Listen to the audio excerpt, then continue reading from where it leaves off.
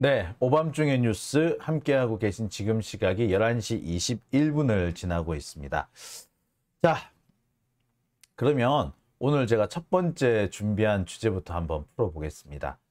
녹취록 속 김만배의 푸념, 이긴 국민의힘 시의원이 대장동 이익 공유하자고 점점점입니다.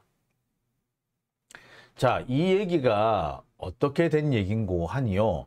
이거는 정영학 녹취록에 그대로 등장하는 내용입니다. 정영학 녹취록에 남욱과 어, 정영, 아, 김만배와 정영학의 대화로 어, 등장을 해요. 김만배가 직접 얘기를 합니다. 어, 지금까지 보면 남욱 그 정영학 녹취록의 상당 부분은요. 남욱 아, 김만배와 정영학이 대화를 하는 부분도 있지만 또 상당 부분은 남욱과 정영학이 대화하는 내용도 많이 포함되어 있어요. 그리고 결정적으로 검찰이 이그 대장동 사건에서 이재명 대표를 공격하기 위한 증거로 쓰는 것들은 주로 남욱이 하는 말이에요. 남욱이 이렇게 이렇게 얘기하더라.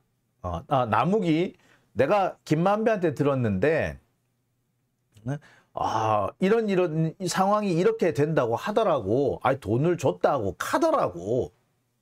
이렇게 그 정민용, 어, 정영한테 한테 그렇게 얘기하는 그런 내용이 포함되어 있습니다. 그러니까 남욱의 지 행동이나 지가 본 것을 그대로 얘기하는 것이 아니라 어, 김만배가 그렇게 얘기를 하던데 그래 그 얘기를 내가 너한테 전해주는 거야 뭐 이런 내용들이 대부분이에요.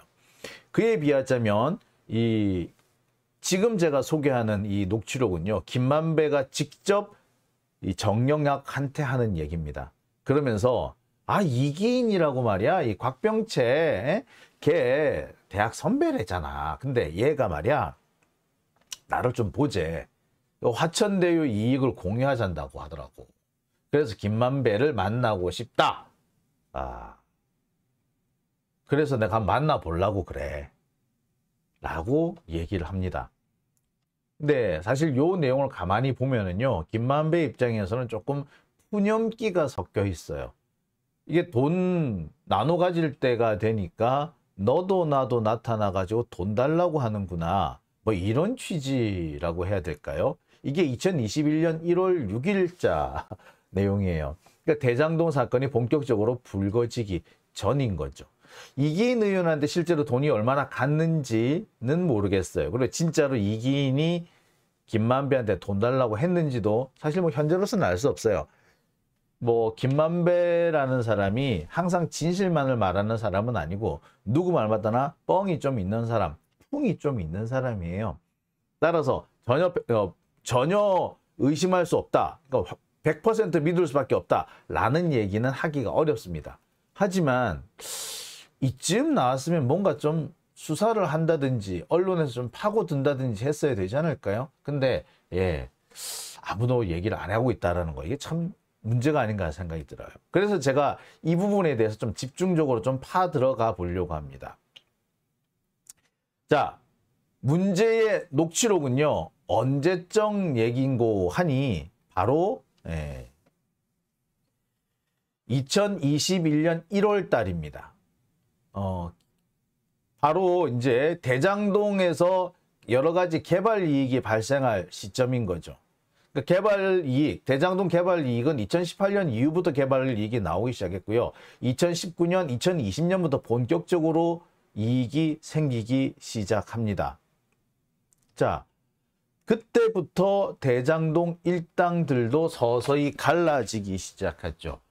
어, 돈을 보고 나니까 아무래도 서로 서로 자기 욕심이 나기 시작했던 것 같아요. 그 전까지는 사업을 성공을 시켜야 한다라는 그런 목표가 있었기 때문에 약간 서로 단결을 하고 있다가 자 돈이 나오기 시작하고 분배를 시작하니까 이때부터는 뭐 엥, 서로 서로 예, 내가 돈을 많이 가져가야 되네 뭐 어쩌네 이렇게 하기 시작합니다. 그러면서 없던 어, 뭐 비용이 등장하기 시작하고 그 다음에 내가 이런 비용이 들었으니까 네가 이거 좀 대신 내라 너도 좀 내라 분담을 요구하기도 하고 막 이렇게 되기 시작하는 거예요. 자 대장동 일당이 갈라지기 시작하고 그 이익을 놓고 싸움을 벌이기 시작할 때입니다. 바로 그때 에, 이기인이라는 사람이 나타난 거죠. 뿐만 아니라 대장동 일당들을 자기들끼리 분열을 하고 있을 뿐만 아니라 이기성이라든지 양완범이라든지 대장동 일자 업자들 주변에 모여 있던 다른 뭐 공사업자라든지 각종 하청업자들도 덤벼들기 시작합니다. 그래서 내 목도 좀 내놔. 아니 너 나한테 돈 빌려갔잖아. 그것 좀 혹은 네가 나한테 돈 뜯어갔잖아. 그것 좀 이제 돌려줘. 라고 요구를 하기 시작할 때고요. 정재창 등 사실상 김만배한테 돈을 뜯겼거나 자신의 몫을 빼앗긴 사람들이 야 나의 몫을 보호해 주지 않으면 나 확 찔러버린다 라고 핏대를 높이기 시작하는 시점인 거죠. 이때 등장한 사람이 바로 예, 이기 예, 아 이름도 방, 방금 전까지 생각이 났는데 생각이 안 잠깐 죄송합니다. 이기인 의원인 겁니다. 예, 아이고 제가 요즘에 이래요. 좀 전까지 얘기를 했는데 갑자기 생각이 안 나는 이런 일이 좀 있습니다.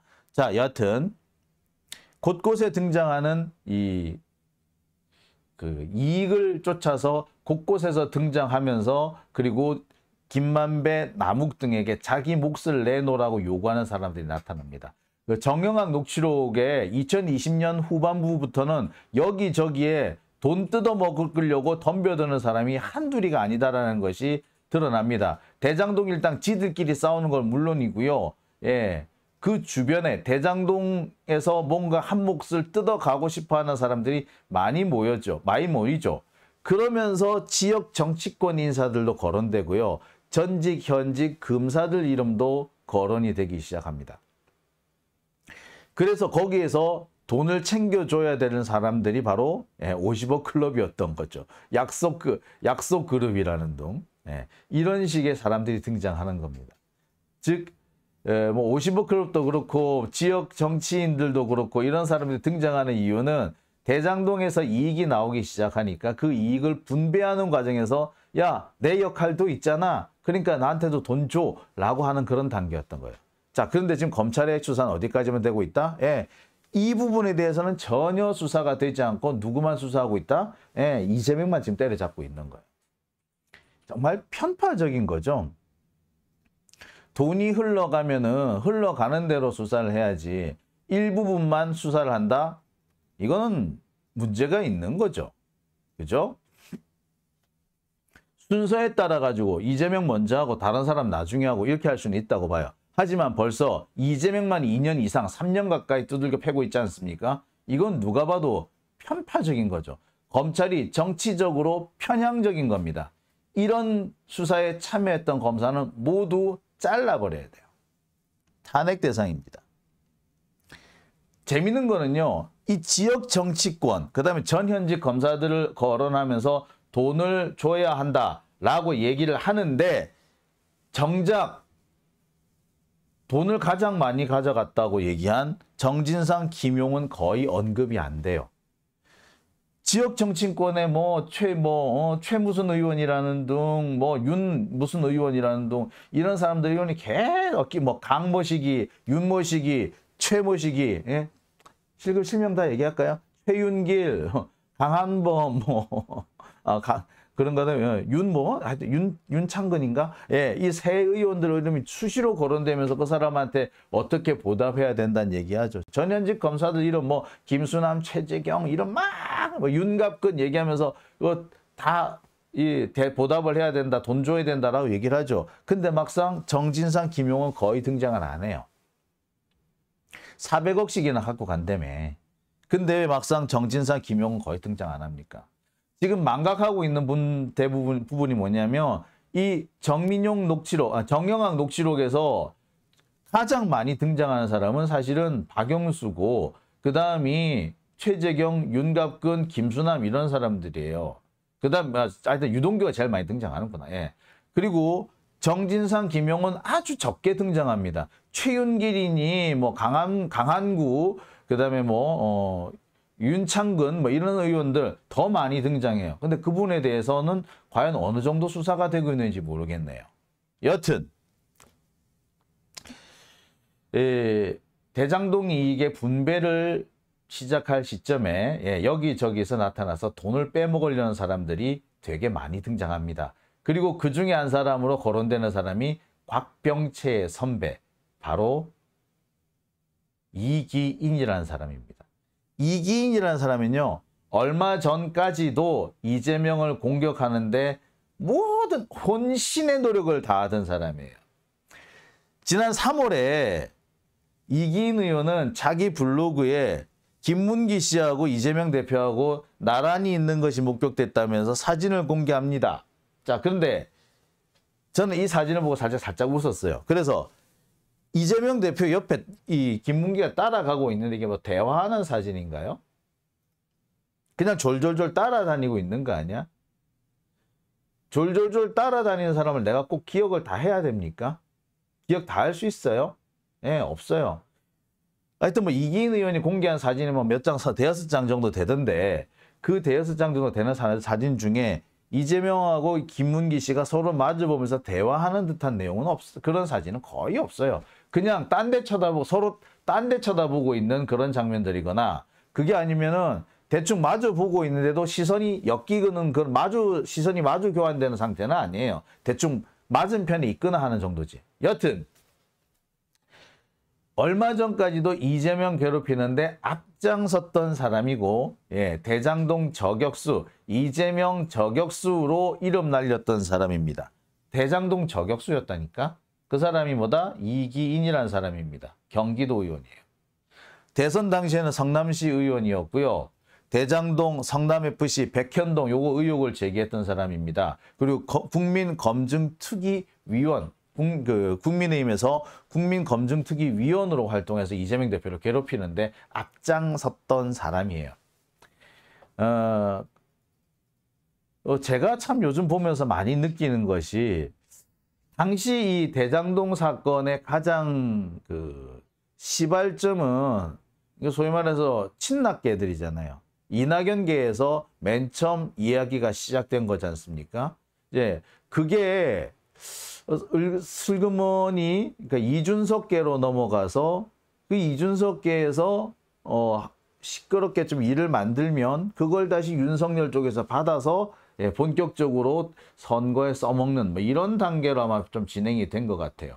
여튼 이 이기인이라는 사람도 아마 보니까 이준석계인 것 같은데 자 끈질기게 대장동 저격수로 이름을 알린 사람입니다. 그랬는데 막상 녹취록을 뒤져보니 어, 이익을 공유하자면서 김만배를 만나려 했다라는 대목이 등장을 하는 거죠.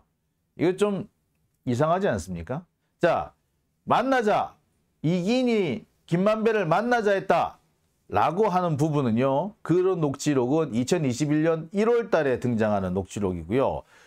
이기인이 이, 이 이재명 저격수로 활동한 것은 2021년 11월부터입니다. 약 10달간의 차이가 있어요.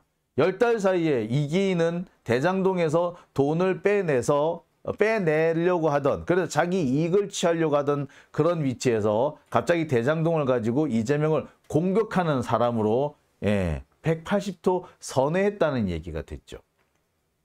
야 이거 진짜 이런 변화 이런 변화도 변화도 이런 극적인 변화가 또 있을까요? 자 어쨌거나 이런 이기인 의원이라는 사람이 있습니다. 자 볼게요 그러면 이기인이라는 사람이 녹취록에서 어떻게 등장하느냐. 자, 하나씩 보, 보여드리겠습니다. 뭐, 보시면 아시겠죠? 그죠? 어, 예, 이게, 예. 자, 대장동 녹취록 그 중에서 제 15차 메모입니다.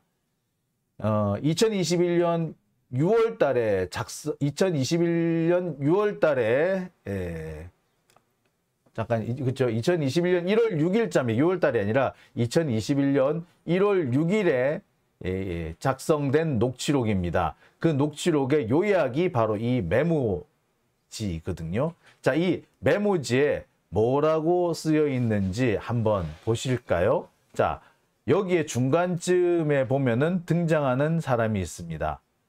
곽평채의 선배 시의원, 이기인, 국민의힘, 화천대유 시행사 이익을 공유하자. 끝나고 김만배와 만나고 싶다. 이런 식으로 말했단다. 누가 말했단다? 예, 김만배가 말했단다. 자, 그러면 이 대목이 어떤 대목인지 한번 볼까요? 자, 분명히 여기 있죠. 이기인 국민의힘 곽병채의 선배인 시의원이라고 분명히 나와 있습니다. 이게 에, 정영학 녹취록에 있고요. 이 정영학 녹취록은 법원에 에, 검찰에 제출됐고 법원에도 제출돼 있는 겁니다. 분명히 이기인이 김만배를 만나려 했다라는 얘기가 등장하고요. 이때가 언제다? 2021년 1월 6일 녹취록입니다. 그러니까 어 2020년 한 겨울 무렵에 이런 김만배와 만나고 싶다라는 얘기를 했다라는 거죠. 예, 이기인 의원이 예, 이익을 공유하자면서 김만배를 만나려 했다. 자, 김만배가요. 거짓말을 좀 하기는 하는데 에, 이거를 완전히 뻥을 치는 거는 아닙니다. 어떻게? 음, 약간의 양념을 치는 정도이지. 그래서 그냥 밋밋한 얘기를 대단히 섹시한 얘기로 만들어내는데 탁월한 능력을 가진 사람이지. 아예 없는 거를 에, 하는 사람은 그렇게 하지는 잘 하지는 않아요.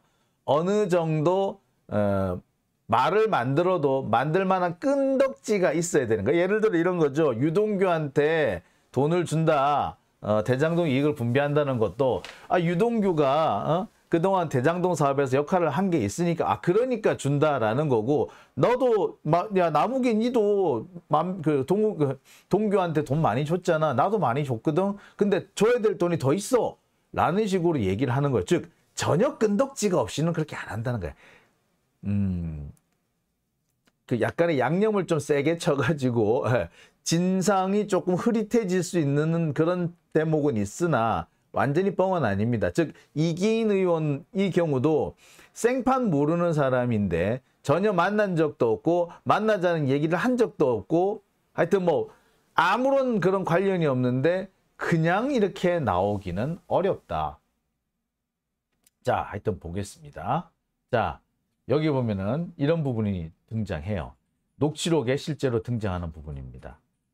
자, 여기 중간 부분에 보시죠. 김만배, 시의원 저 병채 선배인데 이익을 좀 공유하자. 끝나고 나하고 만나고 싶다. 뭐 이런 식으로. 응? 그래서 한번 만났는데, 예. 근데, 아 근데 또 다른 얘기를 하더라고. 그러니까 이제 한 번은 좀 시도를 뭐 해야 되지 않겠어? 네, 이렇게 얘기하는 겁니다. 음. 지금 뭐냐면 당시 이 김만배가 이 대장동 부분에서 빨리 이 준공을 받아야 되는 거야. 준공을 빨리 받아야지 빨리 분양하고 빨리 돈을 그냥 청산해가지고 얼른 사라질 수가 있는데 이 준공이 조금 지연될 것 같은 거야. 그래서 어떻게 한다? 시의원들 동원해가지고 이 준공이 빨리 나오게 좀 해야 되겠다. 그러면서 누구를 거두먹거린 거다? 이기인을 거두먹거린 거예요. 이기인이 어쨌든 지가 먼저 날 만나자고 했거든. 만나니까 뭐 딴소리를 하던데 지금 한번 시도를 해볼 수 있지 않을까 하는 생각이 들어요. 어, 그래서 내가 한번 만나보려고 그래. 라고 얘기한 겁니다. 요 대목 앞에 김만배가 그런 얘기를 해요. 이제 시의원이라는 이런 사람 만나서 좀 로비를 해야 되겠어. 응? 이랬더니 정영학이 시의원이요? 응, 시의원. 그 저 병채 선배인데 그 시행사 이익을 좀 공유를 하자. 끝나고 나하고 좀 만나고 싶다. 어? 이런 식으로 해서 내가 한번 만났거든. 응? 근데 말이야, 딴 얘기를 좀 하더라고. 어, 그러니까 이제 그 사람을 이번에 한번 만나서 시도를 해서, 어, 좀 빨리 준공이 나오도록 하면 어떨까? 내가 로비를 해보려고 그래. 요 얘기를 하는 겁니다. 예, 무슨 말씀인지 조금 이해됩니까? 제가 이 만배형, 어, 말투를 흉내내서 여러분들한테 좀 전해드리려고 조금 노력을 했어요. 조금, 예, 이해에 도움이 되시기 바랍니다. 자, 이 부분이죠. 예. 그러니까 이 부분만 보면은 어, 당장 이기인 의원이 김만배한테 돈을 받았다라고 보기는 어려워요. 하지만 일정한 요구를 한 것만은 분명해 보이죠. 이게 정말 이익을 공유하자는 식의 얘기였는지 어 뭐 약간 다른 의미를 내포한 것이었는데 김만배가 이렇게 예, 어 좀 어, 왜곡을 한 것인지는 알 수는 없습니다. 하지만 이 뒤에도 김만, 김만배가 어, 이기인을 만나려고 했을 것이고 그 만나려고 한 이유는 예, 대장동 그 준공이었던 거죠. 예. 자, 그렇다면 실제로 만났는지 안 만났는지, 진짜로 이익을 공유하자란 말을 했는지, 이 점에 대해서는 일단 수사는 하고 넘어가야 되지 않나요? 되게 구체적이잖아요.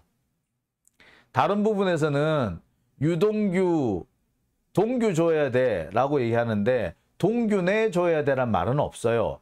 어, 내 형들 줘야 돼까지는 한 번 있어요. 근데 그것도 보면은 녹취록에서 등장하는 게 아니라 다른 데서 등장하는 거죠. 동균의 형들. 응? 자, 그런데 동균의 형들 이 한마디를 가지고 이재명을 엮었고요. 그 한마디를 가지고 김용 전진상은 예, 구속까지 당했습니다. 그런데 왜 여기는 가만히 놔두는 걸까요? 자, 더군다나 재밌는 부분이 있습니다. 이 정영학 녹취록은요, 공개된 지 2년이 넘었습니다. 아니, 이제 검찰이 확보한 지 2년이 넘었습니다. 그리고 공개된 것도 벌써 몇 달이 지났어요. 근데 지난 2년 동안 아무도 관심이 없었다는 게 문제죠. 저도 이 이기인 의원에 대해서 별 다른 관심을 못 가졌었습니다. 이기인이 누구야? 어, 국민의힘도 여기에 했었어. 야 알고 봤더니 야 대장동에서 실제로 돈 받아 먹은 놈들은 국민의힘 의원들이구만 라고 생각했는데 이기인에 대해서 별로 관심을 갖지 않았어요. 근데 갑자기 요즘에 이기인이 등장합니다. 예, 저한테도 이렇게 한번 다뤄보라는 얘기가 슬그머니 들어와요. 그래서 일단 다루긴 다뤘는데 가만히 생각해보니까 뭔가 좀 이상해. 자 뭘까요? 이 이기인이라는 의원이요. 김기현도 저격을 했더라고요. 어, 대장동 저격수 김기인, 김기현 울산 땅 의혹 국민 납득하기 어려워. 자, 또 있습니다. 이기인 웹소설 논란, 어, 논란 장예찬 전대후 윤리위에 정식 제소할 것. 야. 자, 이 장예찬의 웹소설이 뭐냐? 어, 아이유가 등장하는 아주 음란한 소설이죠. 그래서 뭐 여의도 화타가 어, 성관계를 통해서 어, 뭐 이상한 병을 앓고 있는 불치의 병을 앓고 있는 사람 여자 여성 가수를 어, 뭐 치료한다 뭐 그런 내용이죠. 어, 참네. 이 사, 이거는 뭐 사이비 종교인들이 사이비가 그, 그 보통 여자 신도들 농락할 때 써먹는 그런 레파토리 아닌가요? 자, 근데 이 웹, 레파토리를 웹소설이라고 해서 뭐 썼대요. 좋아. 뭐, 좋아, 좋아. 뭐, 지 마음이겠지.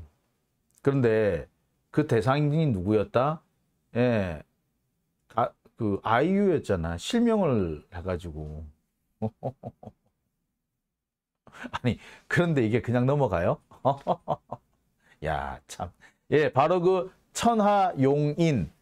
예, 천하람 뭐, 어, 뭐, 뭐 하면서 용인, 천하 용인에 포함되는 것이 이 이기인입니다. 즉, 어, 지금 국민의힘 안에서는 상당히 예, 좀 한쪽 편에 몰려 있는 어, 왕따를 당하고 있는 그런 사람들인 거죠. 그러니까 아마 이 부분에 대해서 지금 검찰이 다시 손을 대기 대기를 모양인 것 같아요. 즉 제가 볼 때는 이렇습니다. 지금 박영수를 구속한 해 만에 뭐해 만에 이런 얘기가 돌고 있는데 그 박영수 문제를 희석시킬 때 그러니까 예컨대 박영수에 대한 구속영장을 실제로 청구 안 하거나 또는 박영수 영장이 뭐 기각되었을 때 그때 검찰을 향할 여러 가지 논란을 희석시키기 위해서 이 이기인을 한번 쓰지 않겠는가 뭐 이런 생각도 사실 살짝 들어요. 여튼 어 그러딘가 말딘가 그런 의도가 있딘가 말딘가 대장동에서 이렇게 거론이 되었다면 형평성 차원에서라도 좀 수사를 받아야 되는 거 아닌가요? 왜 지금까지 수사를 안 받는지 정말 놀랍습니다. 자, 이 김도진님 좋은 말씀 해주셨어요. 대장동 사건은 이명박 정권 때부터 저지른 범죄 카르텔의 민낯을 보여주는 것입니다. 룬경 정 본부장 비리에 이르기까지라고 하셨습니다. 예, 맞습니다. 이 대장동 사건은요, 우리나라 이 지역 개발이 어떻게 진행되는지를 정말 민낯을 보여주는 사건들이죠. 업자들이 여러 차례 바뀌어가면서 그 업자들이 정치권에 로비를 하면서 그리고 정관계에 자기 사람을 심어가면서 마침내 자기들이 원하는 대로 모든 일을 이끌어 가려고 하는 뭐 그런 단계라고 보시면 되는데 항상 이런 사람들은 검사를 끼고 합니다. 검사를 바로 낄 수가 없으니까 중간 단계로 전관 변호사를 데리고 오겠죠. 바로 그건 거죠. 여기서는 다 대장동에서는 그 많은 사람들이 다 포함이 되어 있습니다. 그리고 그 핵심에 김만배와 박영수가 있는 거죠. 자, 그렇다면 이제 검찰이 누구를 수사해야 되는지 너무나 명백합니다. 하지만 검찰은요, 바로 그 내용은 수사를 안 할 거예요. 쏙 뺄 거예요. 대장동의 가장 핵심적인 주도한 주도 인물. 그래서 대장동에서 제일 큰 이익을 가져간 인물로 박영수를 찝고 그렇게 수사를 하는 것이 아니라 기껏 해봤자 나오는 얘기가 뭐예요? 예? 우리은행 컨소시엄이 어쩌고 저쩌고 하죠. 근데 우리은행 컨소시엄은 그게 2014년 이후에 실제로 그 컨소시엄이 성립이 되는 게 아니라 컨소시엄이 실제로 예, 무산돼 버립니다. 그리고 무산될 무렵에 박영수는 우리은행 직원이 아니었어요. 이사회 의장이 아니었어. 2013, 2014 이 2년만 했는데 그 기간을 또 도과를 해버립니다. 사실 따지고 보면 박영수 빠져나갈 거면 뒷담 많아요. 하여튼 뭐 요 얘기는요. 제가 내일 다시 한번 싹 한번 정리하는 시간 만들어 드리도록 하겠습니다. 자, 오밤중의 뉴스. 어, 첫 번째 주제는 여기까지고요. 예, 저는 이어서 곧 두 번째 주제로 넘어가 보겠습니다.